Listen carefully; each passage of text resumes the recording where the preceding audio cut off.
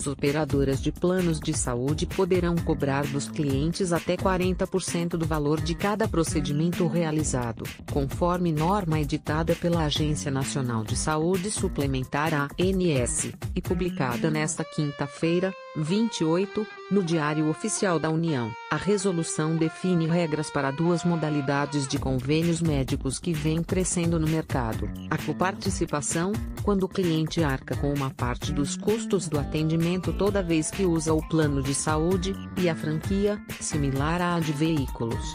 Ambos os formatos já estavam previstos em resolução do setor de 1998, mas ela não tinha sido regulamentada. Não havia, por exemplo, a definição de um percentual máximo para a coparticipação em cada atendimento, mas a Diretoria de Fiscalização da ANS orientava as operadoras a não praticarem valores superiores a 30%. Na prática, portanto, a nova regra amplia o valor máximo que as operadoras podem cobrar cobrar dos usuários. O texto da nova resolução, a qual o jornal Estado de S. Paulo teve acesso, prevê, porém, que todas as cobranças com franquia e coparticipação estejam sujeitas a um valor máximo por ano. Como adiantado pela reportagem em abril, a parte a ser paga pelo beneficiário no somatório de 12 meses terá como teto o mesmo valor que ele paga de mensalidade no acumulado do ano. Ou seja, se o valor total pago em 12 meses for de 6 mil reais,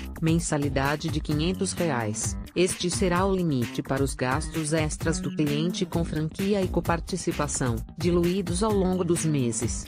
Esse limite poderá ser aumentado em 50% no caso de planos coletivos e empresariais, que representam 67% do mercado de convênios médicos, caso isso seja acordado em convenção coletiva, no exemplo dado acima. Portanto, o limite a ser pago pelo contratante em pagamentos de franquia e coparticipação poderia chegar a 9 mil reais por ano. Esse mesmo teto também deverá ser respeitado para os planos com franquia, mas a cobrança nesse caso será diferente. A franquia poderá ser aplicada de duas formas. 1. Dedutível acumulada, a operadora não se responsabiliza pela cobertura das despesas até que seja atingido o valor previsto no contrato como franquia. 2. Limitada por acesso, será estipulado um valor de franquia por procedimento e não por ano. As regras só valem para contratos novos. As operadoras poderão continuar vendendo planos sem franquia ou coparticipação,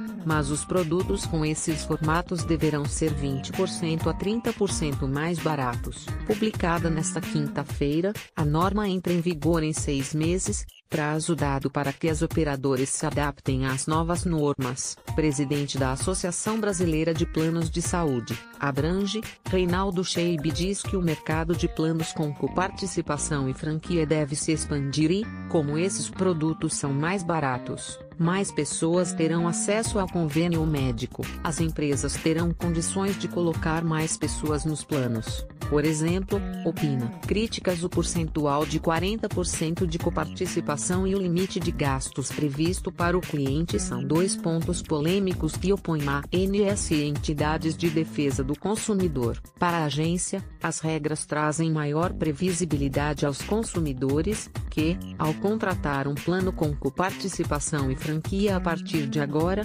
saberão qual é o valor máximo que pagarão ao final do mês e ano. Os avanços dessa norma são garantir que o consumidor não seja surpreendido com um custo muito alto e definir procedimentos isentos da cobrança de coparticipação e franquia, afirma Rodrigo Rodrigues de Aguiar, diretor de desenvolvimento setorial da ANS já para o Instituto Brasileiro de Defesa do Consumidor, IDEC.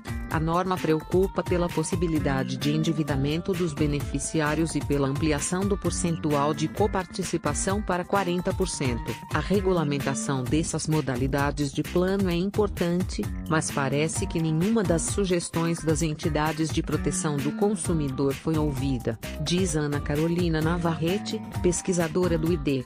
Isenções às regras de franquia e coparticipação não poderão ser aplicadas a alguns tipos de procedimentos definidos pela Agência Nacional de Saúde Suplementar ANS, na resolução publicada nesta quinta-feira, 28, no Diário Oficial da União, fazem parte da lista consultas e exames considerados preventivos e tratamentos de doenças crônicas. Entre as consultas, estarão isentos quatro atendimentos com médicos generalistas, clínico geral, médico da família, pediatra, ginecologista e geriatra, por ano. Entre os exames preventivos que não terão cobrança extra estão mamografia para mulheres de 40 a 69 anos, um exame a cada dois anos, Papa Nicolau para pacientes de 21 a 65 anos, glicemia de jejum para maiores de 50 anos e teste de IV, entre outros. Entre os tratamentos crônicos cobertos integralmente em qualquer circunstância estão sessões de hemodiálise e tratamentos oncológicos de radioterapia e quimioterapia. Também ficarão isentos de cobrança extra os exames solicitados durante o pré-natal,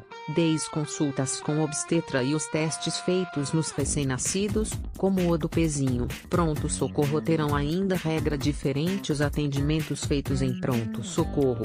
Nesses casos, não incidirá o valor percentual de 40% de coparticipação por procedimento realizado, mas, sim, um valor fixo e único a cada atendimento. Esse valor ficará limitado à metade do valor da mensalidade do beneficiário e não poderá ser superior ao valor pago pela operadora de plano de saúde ao hospital ou clínica. Outra determinação da resolução é que o beneficiário tem acesso, no site da operadora, a um extrato de utilização do serviço, com os valores acumulados a serem pagos como franquia ou coparticipação. É uma forma de dar transparência ao processo e de o cliente acompanhar se as cobranças são devidas, diz Rodrigo Rodrigues de Aguiar, diretor de desenvolvimento setorial da ANS. As informações são do jornal Estado de S.